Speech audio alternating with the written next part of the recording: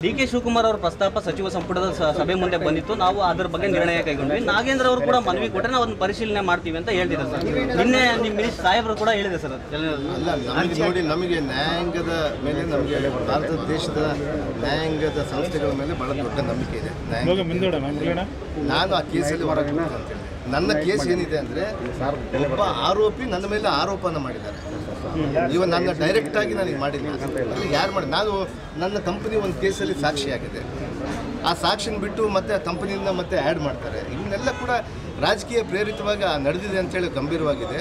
But ನನಗೆ ನನಗೆ ಒಂದೇ ನನಗೆ ಒಂದು ನ್ಯಾಯ ದೇವತೆ ಮೇಲೆ ನನಗೆ ನಂಬಿಕೆ ಇದೆ. ಈ ಎಲ್ಲ ಕೇಸ್ಗಳಿಂದ ಬದಲೇ ಬರ್ತೀವಿ. ನಾಲ್ಕು ಕೇಸ್ಗಳಿಂದ ಕೂಡ ಹೊರಗೆ ಬರ್ತೀವಿ.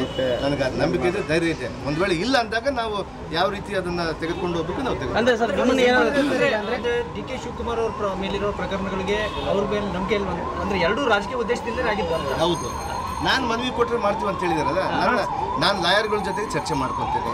ನನ್ನ ಮನವಿ ಏನಾದರೂ ಕ್ಯಾಬಿನೆಟಲ್ಲಿ ಪಾಸ್ ಆದರೆ ಒಳ್ಳೇದಾಗುತ್ತೆ ನಾನು ಮಾಡ್ಕೊತೀನಿ. ಅಂದ್ರೆ ನಿಮ್ಮನ್ನು ಸಿಗಿಸೋ ಪ್ರಯತ್ನ ಆಗಿತ್ತ ಸರ್ ಆ ಟೈಮ್ನಲ್ಲಿ ಯಾರಲ್ಲಿ? ನಿಮ್ಮ ಮೇಲೆ ಕೇಸ್ ಮಾಡಿದಂತ ಸಂದರ್ಭದಲ್ಲಿ?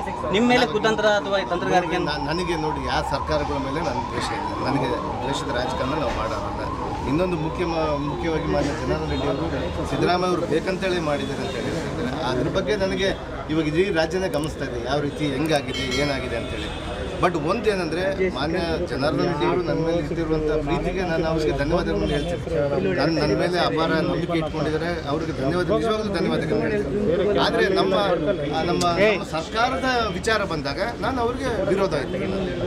ಸರ್ ಇದ್ರ ಜೊತೆಗೆ ಇನ್ನೊಂದು ವಿಚಾರ ಚರ್ಚೆ ಆಗ್ತೈತಿ ಏನಂದ್ರೆ ಡಿ ಕೆ ಶಿವಕುಮಾರ್ ಅವ್ರ ಪ್ರಕರಣ ಏನೋ ವಾಪಸ್ ತಗೊಂಡ್ಬಿಡ್ತಾರೆ. ನೆಕ್ಸ್ಟ್ ನಾಳೆ ನೀವು ಮಾಡಿರೋ ಸಿ ಬಿ ಐ ಕೇಸ್ಗಳನ್ನ ಅವರು ಬೇರೆ ಪಕ್ಷ ಅಧಿಕಾರಕ್ಕೆ ಬಂದ್ರೆ ಅವರು ವಾಪಸ್ ತಗೊಂತಾರೆ. ಇದೇ ರೀತಿ ಆಗ ಹಾಕಂತ ಹೋದ್ರೆ ಪ್ರಕರಣಗಳು ಆಲ್ರೆಡಿ ಪ್ರಕರಣ ಹಳ್ಳ ಹಿಡಿಯಲ್ಲ ಸರ್ ನಾನು ಅವಾಗಲೇ ಎಪ್ಪತ್ತೈದು ತೊಂಬತ್ತು ಪರ್ಸೆಂಟ್ ಅಷ್ಟು ನಾನು ನ್ಯಾಯಾಂಗದ ಮೇಲೆ ಬಿಟ್ಟಿದ್ದೀನಿ ಈಗಾಗಲೇ ಕೂಡ.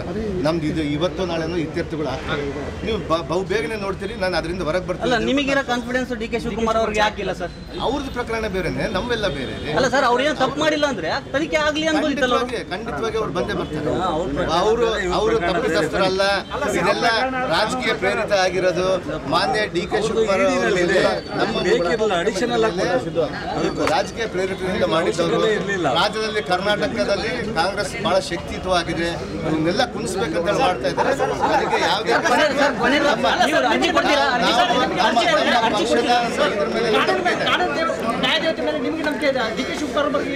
ಖಂಡಿತವಾಗಿದೆ. ಅರ್ಜಿ ಕೊಡ್ತೀರಾ? ಖಂಡಿತವಾಗಿದೆ.